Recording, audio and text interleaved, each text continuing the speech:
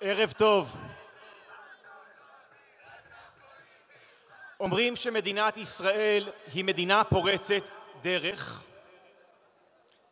ומבחינה מסוימת ובמידה מסוימת זה גם נכון.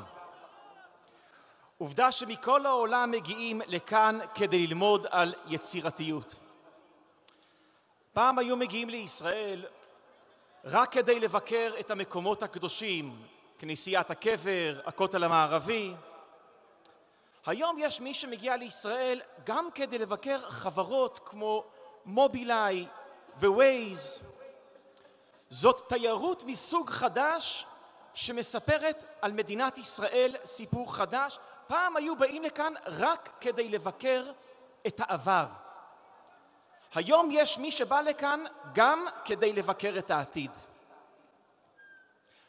תראו, הסיפור שסיפרתי עכשיו הוא סיפור לדעתי נכון, אבל הוא חלקי.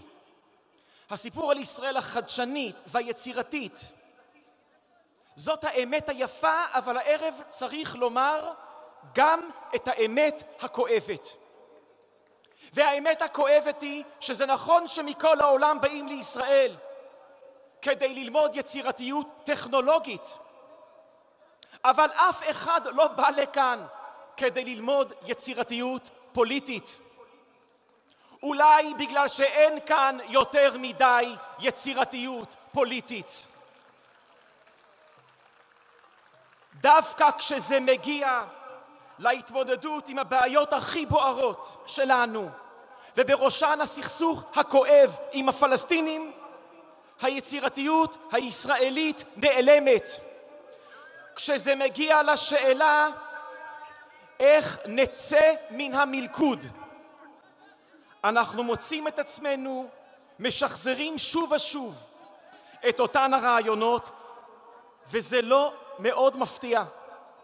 היכנסו לכל חברה ישראלית או עמותה ישראלית שעוסקת בחדשנות ומיד תגלו שהסוד טמון בשיחה. השיחה הפתוחה, סיעור המוחות, החלפת הרעיונות, הם אלו שמצמיחים רעיונות חדשים. אבל, אבל, אם השיחה הפוליטית בישראל איננה זירה של החלפת רעיונות, אלא רק של החלפת מהלומות, אם במקום להקשיב אחד לשני, רק מאשימים אחד את השני, אז לא נוצר האקלים ולא יכול להיווצר האקלים שמצמיח רעיונות חדשניים. לכן חברה שלנו, שהיא כל כך יצירתית טכנולוגית, כל כך לא יצירתית פוליטית, כי איפה שהשיחה קורסת, גם היצירתיות מתמוטטת.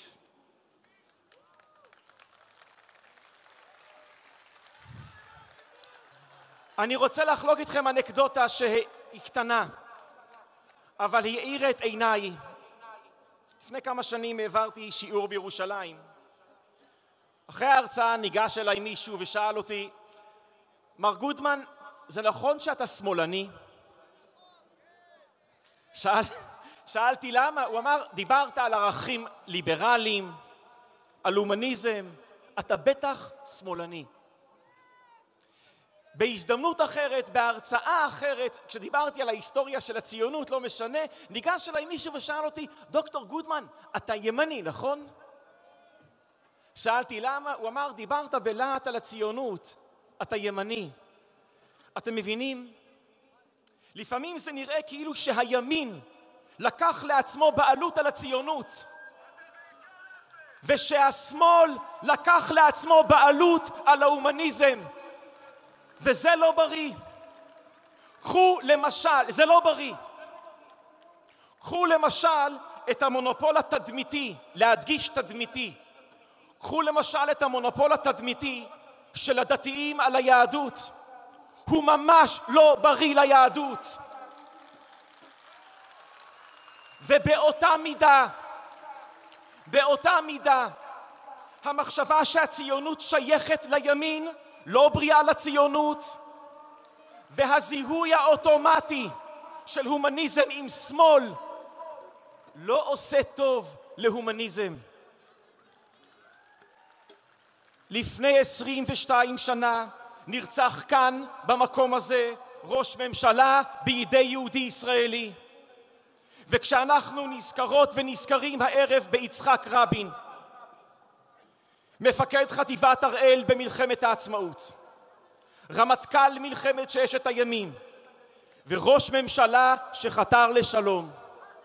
כשאנחנו נזכרים בדמות מעוררת ההשראה הזאת, אנחנו גם נזכרים שהאהבה לארץ ישראל והחיבור לעם ישראל לא שייכים רק לימין, הם שייכים לכולנו.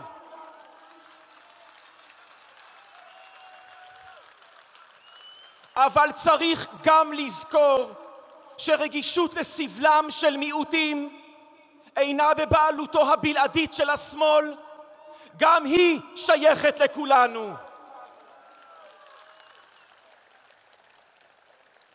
פילוסוף אמריקאי הבחין פעם בין מחלוקת מתפקדת ומחלוקת שלא מתפקדת. מהי מחלוקת מתפקדת? זאת מחלוקת שמתקיימת בין אנשים טועים. מה זה אומר? אני חושב שאתה טועה. אתה חושב שאני טועה. כך מתנהלת שיחה טובה, מעניינת ובריאה. אבל מה קורה כשאני לא חושב שאתה טועה, אלא שאתה חוטא? ובכן, כך מחלוקת נהרסת.